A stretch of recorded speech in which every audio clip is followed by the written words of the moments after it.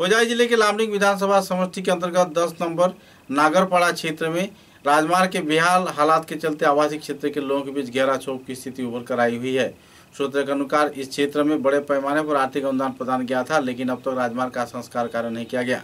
नेता, मंत्री, विधायक सभी क्षेत्र में बिहार राजमार्ग के संस्कार के लिए आर्थिक अनुमोदन तो लेते हैं, लेकिन संस्कार नहीं करते।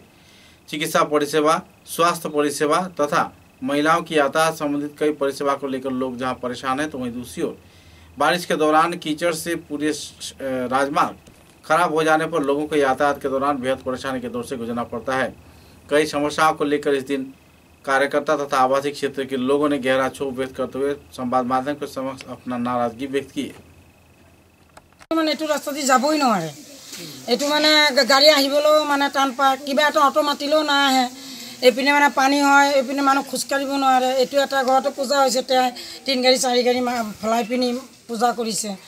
এইটো মানে এইটো ৰাস্তা মানে এটা বেমাৰীও নিব নোৱাৰে। আপোনালোকৰ ডেলিভাৰী ইয়াতে ভোটাৰ কিমান আছে? ভোটাৰ কিমান হ'ব? ওৱান থাউজেণ্ডৰ ওপৰত আছে। ইয়াতে।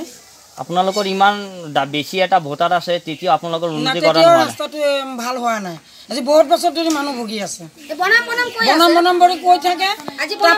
একো নাই। তাৰপাছত মানুহ।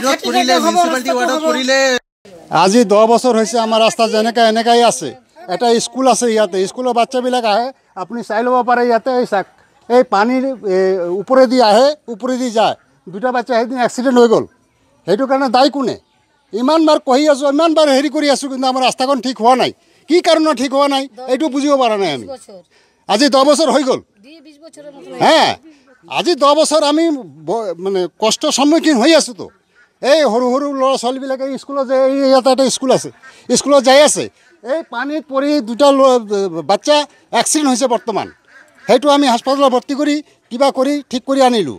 কিন্তু কোনেও নুশুনে না এম এল এ শুনে না ৱাৰ্ড মেম্বাৰ শুনে না কোনোবা শুনে। আমাৰ কথা নুশুনে থাকিব কাৰণ কি। জাগাৰ নামটো হৈছে দহ নম্বৰ ৱাৰ্ড।